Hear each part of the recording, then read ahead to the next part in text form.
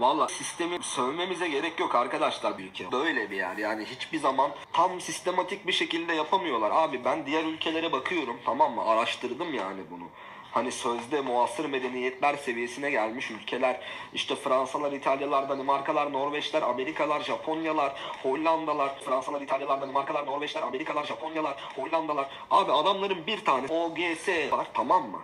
40 sene önce de OGS varmış. Şimdi de aynı. Bize bakıyorsun OKS, LGS, LYS, YKS, OGS. Ne yapıyorsunuz abi? Bir adet belirleyin. Bunun belli başlı kuralları olsun. İnsanlar bilsin ona göre hareket edelim.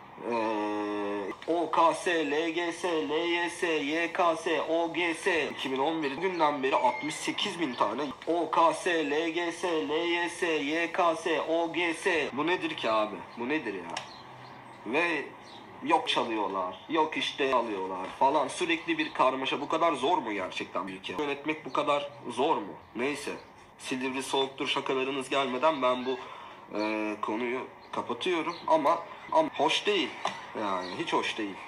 Niye sürekli bir ülke sistemi değişir ki? Yani neden sürekli her jenera, jenera, jenera, jenerasyon bile değil ya iki senede bir ya. İki senede bir. Merak ediyorum biri bana açıklasın. Bizim sistemi her sene işimiz gücümüz yokmuş gibi sistemi değiştirme nedenimiz şudur. Desin. Ben de diyeyim ki abi tamam haklısın. Ama Fransalar, İtalyalar, Danimarkalar, Norveçler, Amerikalar, Japonyalar, Hollandalar. Ben bugüne kadar bununla ilgili herhangi bir açıklama duymadım. Belki vardır.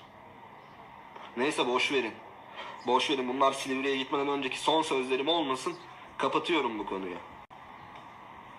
Ya Silivri gerçi bu havalarda soğukta değildir. Aga tişörtle şortla takılırız ama niye durduk yere? Hiç, ya nasıl bir ülke olduk ki? Vallahi nasıl bir ülke olduk? Nasıl bir ülke olduk? Fransalar, İtalyalar, Danimarkalar, Norveçler, Amerikalar, Japonyalar, Hollandalar seviyesine gelmiş ülke. Şaka şaka Silivri soğuk